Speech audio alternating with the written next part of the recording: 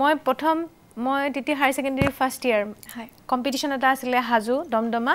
তেতিয়া মই competition join কৰিব গৈছিলোঁ আৰু তেওঁ পবিত্ৰ মাৰ্ঘেৰিটা আৰু এনেকৈ বৰ্ষা ৰাণী বিষয়ে তেওঁ এংকৰ আছিলে।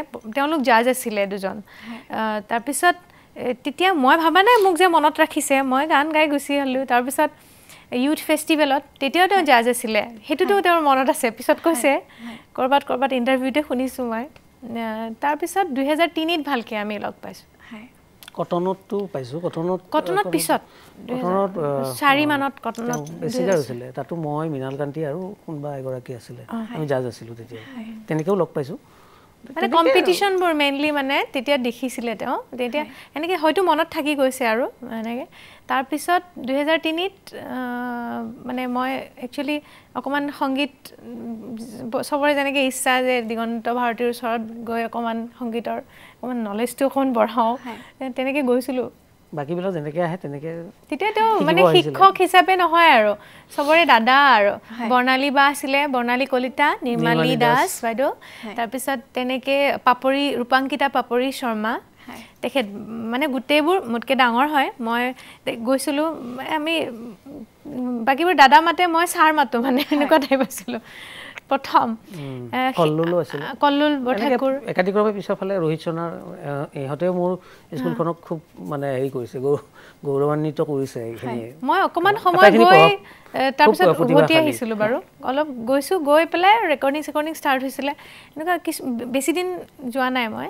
তাৰপিছত তেওঁৰ সেইটো চলি থাকিল। সেইখন স্কুল লাহে লাহে স্কুল হ'ব ধৰিলে। আজিলৈ আছে।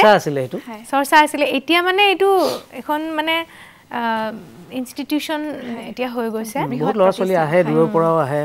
এব্ৰডো আছে মোৰ অষ্ট্ৰেলিয়া ষ্টুডেণ্টো আছে। অনলাইন ক্লাছবিলাক যিবিলাক হয় ইউ এছৰ আছে অষ্ট্ৰেলিয়াৰ আছে শ্ৰীলংকাৰ আছে এনেকৈ বহুত ষ্টুডেণ্ট বাহিৰৰ পৰাও মোক যোগাযোগ কৰে। আৰু ইয়াতো আমাৰ অসমতো আছে তেনেকুৱা বেংগলত আছে। তেওঁলোকে কেতিয়াবা মাহত কেতিয়াবা যিখিনি দূৰণিবতীয়া মাহত আহে ট্ৰেইনত উঠি আহে একবাৰ ক্লাছ কৰি এদিন আপোনাৰ স্কুলখনৰ কথা আমি জানিম কিন্তু মই সুধিছিলোঁ চিনাকিৰ কথা আৰু চিনাকিৰ পৰা বিয়ালৈ সেই যাত্ৰাটোৰ কথা জানিব বিচাৰিম। তাৰপিছত হ'ল আৰু তেনেকৈ আৰু মানে টু থাউজেণ্ড ছিক্সৰ পৰা নহয় আমাৰ ভালকৈ অলপ মনৰ মিল এটা হ'ল আৰু। লগ নেপাওঁ আৰু ফোনতে কথা চথা পতা হয়। কাৰণ মই তেতিয়া দুমাহটো আমি থিয়েটাৰৰ মানে গেষ্ট ডিৰেক্টৰ হিচাপে ওলাই যাব লাগে। গতিকে তাত গৈ সংগীতৰ চৰ্চাও হয়। সেই দূৰণিবতীয়া কথা যিহেতু ফোনতেই হয় লগেই নাপাওঁ।